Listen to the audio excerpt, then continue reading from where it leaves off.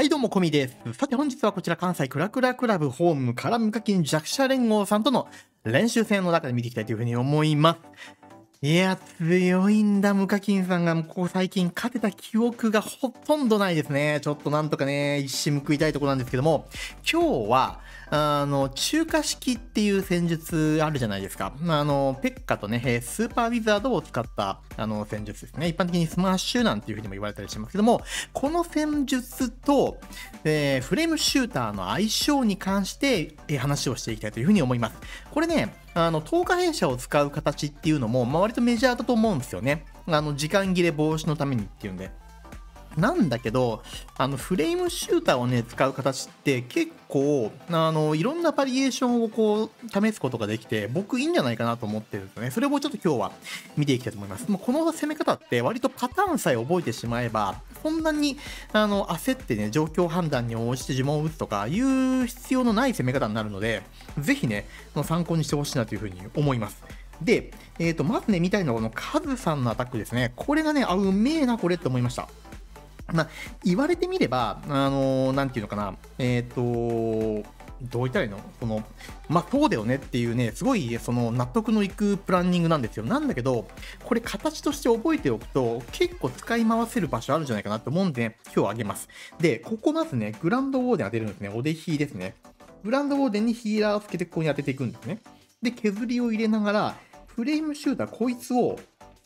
ここに出していきます。で、何をするかっていうと、フレームシューターでタウンホール狙っていくんですね。で、ペッカと、あのー、なんだ、えっ、ー、と、まあ、ペッカで書きますね。ペッカと、まあ、ウィザード部隊っていうのは、えっ、ー、と、こちらから出してぐーっとまっすぐこう入れていきます。なんで、ジャンプ2枚持ってますよね。これ、かけるに。これはジャンプを1枚、2枚っていう風に打つからですね。こんな風な感じのプランニングになってます。で、えっ、ー、と、うまいのはですね、このシューターでタウンホールを取るやり方ですね。で、迫撃砲っていうのが、まあ、シューターにダメージを入れてくる、まあ、ちょっと厄介なね、防衛なんですけども、そこをあらかじめグランドウォーデンでターゲット取っとくことによって、こういう風に、これね、取っとくことによって、シューターがダメージを受けずにタウンホールまでターゲット取ることができるんですね。ここが、まず、うまい。かなりうまいと思う、このテクニックは。本当に、シューターに対してグランドウォーデンを一緒に当てるっていうのもね、あの、使いどころがめちゃくちゃ多いテクニックかなと思いますね、1個目。で、まあ、逆サイドにはね、イエティが3時方面これ勝ってるって、またこの辺ね、入れていってくれてるんですけども、シューターはこの大工の小屋にダメージ入れた瞬間に、このタウンホール起動するんで、タウンホールもターゲットを取れるようになるわけですね。っていうことで、えこのままグランドウォーデンとペッカスパイズでこっちの方をカットしていけば、まあ、自然とシューターはこういうルートに歩いてきますよね。それを利用します。でもこの陸のクロスボウ、こいつも本来これシューターの範囲にこう入ってくるんですけども、グランドウォーデンがターゲットを取っているから、これでね、やられないんですよね。で、このジャイアントはテスラがここにないかどうかのチェックですね。これもうまい、このジャイアント。わかるかな？このジャイアント。こういう細かいテクニックも駆使しながら、一気にこれ真ん中はペッカスパビスをしていきつつ、タウンホールこれほら全然ユニット打ってないんですよ。打たないんだけど、シューターにもう遠距離からガンガン攻撃されちゃって、なんか仕事せずに終わってんですよね。で、シューターがこれ、あの攻撃を加えていながらペッカスパビスがこう進行しているから何が起こるかっていうと、時間切れも起こりにくいんですよ。同時進行だからね。あの、ペッカスパビスって結構最後時間切れになっちゃうリスクの多い戦術とまあ一般的に認知されてると思います。あの、グランドボディのオデヒーパート1分とか使っちゃうんで、残り2分で、あの、ペッカスパイズ、プラスマロイちゃんとかでガーッと展開に持ってくっていうね、そのスピード感が結構求められるんですけど、それをね、こうシューターを平行で歩かせることによって、この辺りにあった、まあ、タウンホールから、えー、大工の小屋から、あとこの、えー、シングルインフェルノもそうですよね。ここまでを一気にシューターで倒していっちゃうんですよ、こういう風に。すんごい強くない？これ。ガチで強いよね。で、えー、ロイヤルチャンピオンがとかね、この辺を片付けてくれながら、まだシューターの中身が出てきてないっていう状態なんですよ。いやー、これうまいわーと思った。あの、こういうブロック型っていうのかな、その僕はなんかベル型って呼んでたりしたんだけど、こういう四角になっているタンホールがね、こういう風に、まあ、あのー、5番目書いた時にタウンホールがこういうところにあるある配置。まあ、ここでも、ここでも、ここでもいいんだけど、こういう配置を取るときには、まずこの形がやれないかなっていう風に考えるのが割と定石かもしんないなっていう風にね、結構この攻め見て思いました。このカスタのアタックはマジうまいですね、本当に。綺麗なプランニングだったかなって思います。で、えっと、もう一個ね、あの、僕がやったのもちょっと見てもらおうかなと思ってまして、うんと、ワヤパパファンセミターこれかな。ちょっとね、アクロバティックなことをしてるんで、どれだけ参考になるかって言われると、うーん、もしかしたら参考にならないかもしれないですけど、えっとね、このアタックっていうのはどういうのかっていうと、えー、ここをシューターで壊すんです、シューターで。これね。で、えタウンホールに対しては、スニークゴブリンを打ち込んでいくんですよ、ガーッとタウンホールに。で、えーこっちをグランドウォーデンで潰していきながら、えーこの面からですね、ペッカとウィザードを一気に流し込んでいく。で、まあ、こんな感じのプランですね。かなりね、アクロバチックなんですけども、あのーさっきのほら、えーっと、カズさんのアタックって、グランドウォーデンを当てる、当てる領域の脇のこういうところにシューターを当てるっていう、こういう使い方をしたじゃないですか。グランドウォーデンでターゲットを取っておきながらシューターを生かすっていうパターンだったんですけど、まあ、僕のパターンはね、それと逆というか、両サイドもシューターとグランドウォーデンでそれぞれ削るっていう形ですね。あの、こういう風なあの方法にも使えます。まあ、タウンホールはね、あの、スニゴムでこれ簡単に取れそうだなっていう風に思えたので、まあ、そこはもうスニゴムで取ることにして、で、シューターでこのシングルを壊しておくんですね。そうすると、ここでグランドボーデンのカットっていうのが、本来シングルインフェルノちょっと入れにくいんですよ。スケートランが出てきちゃうとか、あとは、うん、まあ、テスラが入ってきちゃうとかね、いろんな要素があって、あの、シングルインフェルノをグランドボーデンでカットするので、まあ、それなりにこうリスクをはらむんですけど、シューターを使えば、まあ、ノーリスクでいけますよね。で、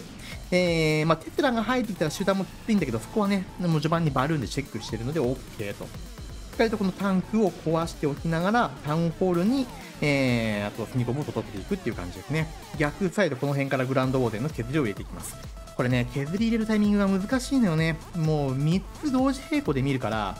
ここのシューターとグランドウォーデンの削りとタウンホール、3つ同時並行で見るから結構慌ただしいんですよ。スニゴムにこう、インビジかけていって潰していくみたいなね。で、えーそこからはあとはもう、えーと、なんだこのシューター、もう壊れても構わないですね。このシングルインフェルノ壊してくれたら十分なんで、むしろ壊しちゃって、中からユニットを出して、こいつらで、あの、アチャクイとかをね、処理したかったんですけど、アチャクイの攻撃力が意外に高くてね、全然処理する前にアチャクイに殴り倒されましたね。結果、瞬殺されました、本当に。アチャクイ強えなって思った。ただまあ、形はできてますよね。あの、カットがしっかりこれ効いていて、タウンホールも壊れてる。こっち側も、えグランドボーデンでこう壊していけたんで、真ん中ドーンとね、ペッカスパリスがえ進行することができています。で、えっ、と、腰の4時側から、えー3時方面にかけては、キングとロイヤルチャンピオンでカットを入れていきながら、最終このね、えータウンホールのあったところにユニットを集結させていくっていう形ですね。あまあね、ユニットを出す順番とかちょっと言えなかったんですけど、あの、形としてはそういう形。なので、言いたかったのは、えっ、と、グランドウォーデンと、えーシューターっていうのをペアで、えー序盤使っていくパターンと、えーグランドウォーデンとシューターを逆サイドそれぞれに当てていって、中央突破をその後仕掛けていくっていうパターン。まあこの2つをね、あの、覚えておくと、まあ大体このシューターを使った、えペッカスパビズだとか、あとはこれがイエティでもボーラーでもまあ、近しいものだと思うんですけど、攻め方っていうのはね、え形を作れるんじゃないかなというふうに思います。まあ、いずれにせよ、シューターを使うんだったら、こういうふうにジャンプ2枚持っていかなきゃいけないっていうのはありますね。で逆に言うと、このジャンプ2枚で、こうね、あの逆サイドまでこう、ユニットが足止め食らわずに進行できるような形ででないと、あの、この攻めはできないです。ここにだからもう一個こう壁があったり、こうしてさ、こんな風に壁があって、こんな風にね、あって、ジャンプ2枚じゃあ、この壁越えれませんよみたいな、こういうパターンだと、今のこのシューター使った攻め方っていうのは、ペッカストですね、形がはまらないので、そこは気をつけてください。で、タウンホールが、えっ、と、こういう部分にあって、えー壁がね、2枚のジャンプでき抜けられる。この形があった場合には、今言ったどちらかを利用することによって、えー大体の村は攻略できるんじゃないかなっていうふうに思います。思いますまあ、もう一個本当は言いたい攻め方があるんだけど、まあ、それまた今度の機会にね、お話ししようと思います。で、えー、と、もう一個ですね、ジャンプを使う同じパターンなんだけど、うんとね、こんなパターンもありますよっていうのもね、ちょっと見てほしいなというふうに思ってます。えーとね、これ、これかな。よいしょ。最近、トンミーさんは、あ、間違えた、これじゃなかった。すいません。ちょっとぐだってしまいましたね。最近ね、トンミーさんがね、なんか、やった後あれなんですよね。あの、調子上げてきていて、やばいんだけど、ジャンプ2枚使っていくじゃないですか、これ。使っていって、逆サイドからダーッとタウンホールまで流し込んでいくんですね。ただね、このね、流し込んでいくときって、あの結構、えっ、ー、と、まあ、リスクをはらむんですけど、タウンホールが壊せないっていうね。ただ、この攻め方をすると、なんかね、あんまりそのユニットが止まることがないっていうまあ、そういう気がしますね。あと、えっ、ー、と、まあ、当然トミーさんこれを使うときにユニットが変なところに流れていかないようなルート作りをしっかりやってるからだと思うんですけど、これね、うっかり、あの、こう行くはずのユニットがこっちとかにこううっかりね行っちゃったりすると、もうこれ完全にえらいことになっちゃうので、あの、ジャンプをかける位置っていうのは、欲張りすぎずになるべく狭いルートをペッカとスパビズが歩いていけるように、ジャンプを使っていくっていうのが大事ですね。これマジで気をつけた方がいいと思います。なんでまあ、今回のこのトミーさんのアタックは、ジャンプの使い方っていうのも結構ね、おっとすいません。あのー、見てもらえたらなと思います。かなりね、その部分は参考になるかなっていう気がします。グランドオーデンでカットをしていきながら、ペッカと、えーと、キングと、まあ、10日弊社ですね。と、キングを使って、こちら側ね、こうカット入れていきます。この辺ですね。カット入れていきながら、ユニット本体をこういう風にタウンホールに持っていきます。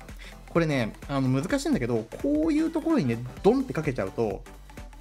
ユニットがこういう風に全体に散っちゃうんですよね。そういう風にしないで、ユニットがなるべく限定的に、えー、と走れるようにジャンプをかけてるってことですね。ここの透析のところにこう流れていくことをまず狙っていきます。はい。で、えっ、と、それができたら最終的にジャンプの呪文を使ってさらに奥まで持っていくと。これちょっと欲張りましたね。あの、こちら側にもここういう風に流すようなジャンプにしてるっていう、結構これはうまいな。あの、こういうスマッシュ系のアタックをやっていてうまくいかないケースっていうのはユニットがばらけて流れまくっちゃってバラバラになるってことなんですよね。そうすると、あの、最後ユニットが生き残らなくなっちゃったりするんで、まあ、そうならないようにね、えっと、うまいこと誘導するっていうのが大事ですね。はい、綺麗にね、キングがもう3時方面まで来てくれてますね。あの、まあ、そこでやられちゃえばするんですけども、3時方面の火力をだいぶ削ってるんで、ロイちゃんのまだこれ、レイジとフリーズまで残っちゃってるっていう感じ。しっかりフリーズうまいですね。テスラを止めていきながら、前回持っていくという形です。これね、ちょっと面白い攻め方なんで、もう一回あの、序盤のね、出し方だけ見てもらいたいかなと思います。あのね、バルキリーを9体ぐらい入れてるんですよ。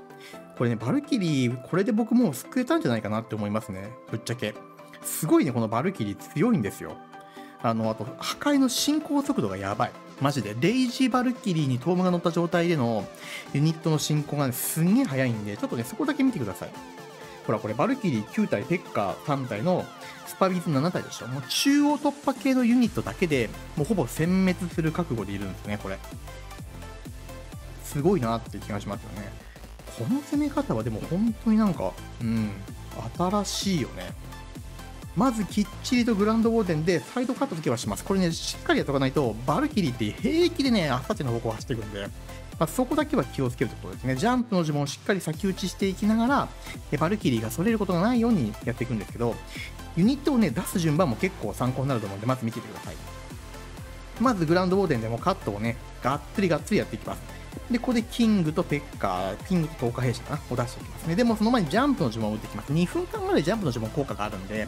あのー、後でね、慌ただしく出して、変な壁開けられちゃうよりは、先に打っといて、でもじっくりね、ユニットを出すことを、ジャンプの呪文以外の呪文に集中して使うこと、この辺に、えっ、ー、と、頭を割いた方がいいって形ですね。で、えキングペッカー、東海社でこちら側のね、えー、17時方面カットしていきながら、アイスゴーレム、アーチャークイーン、ペッカ、バルキリー、その後からスーパーウィズですね。まあ、バルキリー、当然足速いんで、序盤にアイゴレとペッカでターゲットを取っておかないと、どんどんどんどん進行していっちゃいますから、ターゲットをしっかり取ってあげてからバルキリーを出すと。で、ここで、早めのトームをすることによって、バルキリーがやられる前にトームを打ちます。これで一気に相手のアーチャークイーンでこの辺も全部全滅していくんですね。こういう風にガガガガガってすごい速いでしょ。で、ジャンプがかかって壁の中に入っていってる領域はもうほぼ全部バルキリーが蹂躙していって、その壁から壁を、なん壁越しっていうのかな、こういうところ？こういうね、壁越しにこういう遠くの防衛に関してはスーパーウィザードが焼いていくって感じですね。壁の中はバルキリー、ペッカがターゲットを取っていきながらスーパーウィザードがその周辺を壊していくっていうこの形。これね、あの、だいぶ強い破壊力抜群なんで見てもらって分かる通り、ぜひね、ちょっと面白いから試してみてもらえたらなというふうに思います。今日はね、えー、ペッカとスーパーウィザードを使った決め方を中心にお話をしましたけども、この破壊力は多分癖になるよね。ぜひぜひ皆さんにも試してみてもらいたい。ちょっとね、おまけ的なことでお話をさせてもらいました。はい、ということでですね、本日はね、えーペッカスーパーウィザードに、まあ、メインはシューターを使ったね、形っていうのを、えー紹介させてもらいました。かなりね、シューターの使い方っていうのが、もう型にはまってきていると思うので、これ、あのいろんな場面で活用できると思いますからね、ぜひ参考にしてもらえたらなというふうに思いますのと、え僕のチャンネル、えこんな形でクラン対戦の解析の動画中心にやってます。タウンホール12から14まで幅広く扱ってますので、えこの動画みんないいなと思ったらグッドボタン、チャンネル登録よろしくお願いいたします。そしてこれからもご視聴いただけたら嬉しいです。では本日も最後までご視聴どうもありがとうございました。また次の動画でお会いしましょう。バイバイ